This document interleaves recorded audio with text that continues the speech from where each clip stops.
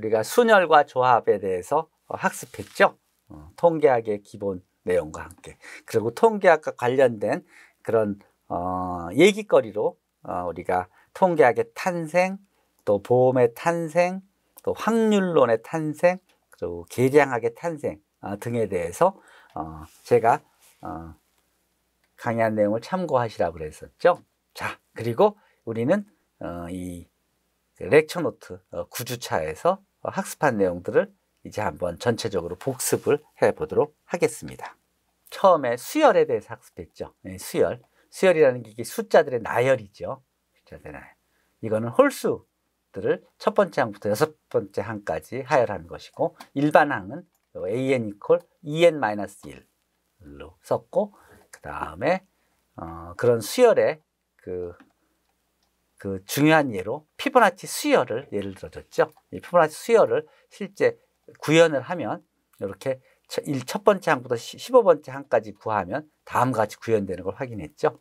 그리고 어, 등차 수열을 한번 생각해 보죠. 첫 번째 항은 1로 시작하고 어, 공, 등차 수열의 공차를 2로 어, 정의해서 그래서 다음 항을 정의해 줘서 15개 항을 찾아보라고 하면 쭉 어, 이게 홀, 그 15개 항을 합치라고 하면 썸, 썸. AN을, AN을 N, N이 1부터 15까지 항까지 해서 15개 항을 곱하라 그러면 255가, 225가 됐습니다. 또 등비수열에서 공비를 2로 해서 A1을 1로 하고 곱하기 어, 2의 N-1승으로 해서 이제 다음 항을 잡아주게 하고 그것들을 쭉 나열하라고 15개를 나열하라고 하면 이렇게 나열할 수 있죠. 15개가 아니라 예를 들어서 한, 한, 한 25개 항을 나열하라고 하면 그러면 어, 25개 항이 이렇게 쭉 나열되게 되겠죠. 그리고 요 등비 수열, 그 등비 수열의 첫 번째 항부터 15번째 항까지의 합을 구하라. 그러면 이렇게 32,767로 구해집니다. 피보나치 수열을 첫 번째 항부터 100번째 항부터 나열하라 그러면 쭉 이렇게 앞에 두 항씩을 더해 가는 것이 이렇게 그 굉장히 빠르게 커 가는 것을 확인할 수 있습니다. 즉 토끼 이, 이 번식 문제에서 이 100번째 달해는 이렇게 많은 어, 숫자의 이, 이 토끼들이 어, 모여 있을 것입니다. 12번째 항을 어, 구하라고 하면 여기서 여기서 12번째 항만 한번 구해 볼까요? 12번째 항까지만 쭉 나열을 해 보면 첫 번째 항부터 12번째 항까지 나열한 것을 확인할 수가 있습니다. 음, 음, 이게 그 144 쌍이니까 144 쌍이니까 이제 두 배를 해줘야 되죠. 그래서 마리수로는 288마리, 쌍은 144 쌍이 되겠습니다. 다음 음, 2차 시에서는 우리가 통계가 의미를 통계의 의미를 설명했고 이 통계에서 뭐 평균, 분산, 표준 편차 등을 실제로 구할 수 있는 그리고 여러분들이 그 원도표를 그리고 활용할 수 있는 그러니까 데이터들을 주면 이 데이터를 갖고 시각화할 수 있는 원도표는 파이라고 이 테이블을 이 테이블을 혈액형 테이블 CNT를 파이 도표로 만들어라 또는 바, 바 막대 도표로 어, plot해라 또 도수 분포표를 어, 찾아라 하면 이렇게 자, 이렇게 설명을 분류를 정확하게 해줍니다. 그러니까 여러분이 코드를 몰라도 특히 R 언어를 몰라도 이 요 요 요 코드를 어, 활용하여 그래서 여러분들의 데이터를 여기다 갖다 놓고 그리고 분류를 하면 원도표, 막대도표, 뭐 도수 분포표들을 만들 수 있을 것이고요. 그리고 나이와 키 를 가지고 요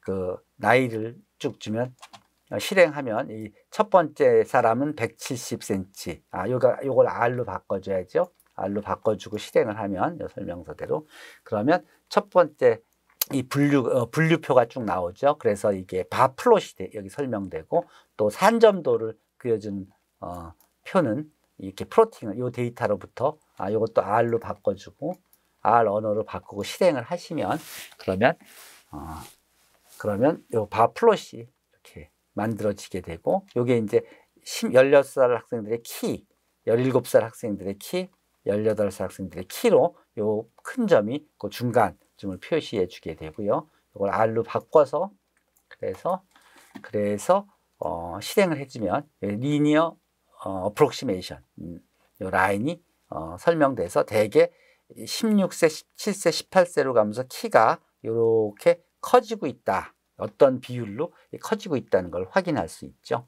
그 다음 순열 조합에서 순열은 permutation은 순서를 고려하여 나열하는 경우 수고 요그 9 permutation 3면 9 factorial을 어, 9 마이너스 3인 6 factorial로 나눠주면 되니까 그러면 바로 여러분들이 그 값이 504인 걸 이렇게 확인할 수 있고 combination은 n choose k는 n choose k로 어, 바로 여기 n factorial 나누기 n-k factorial 곱하기 k 팩토리얼이니까 그 공식을 주면 n choose k가 있으면 그 공식대로 계산을 하면 바로 요 숫자가 바로 이렇게 큰 숫자로 나타나는 걸 확인할 수 있죠. 근데 요게 보통 이제 Python이나 Sage에서 쓰는 언어고 R 언어에서는 이걸 훨씬 더 효과적으로 500 choose 5 하면 500 그 binomial distribution하고 일치돼서 아 요건 요건 Sage 명령어입니다. 요건 Sage 명령어고 실행을 하면 그러면 바로 이, 어, 이 같은 숫자가 나오는 걸 확인할 수 있죠.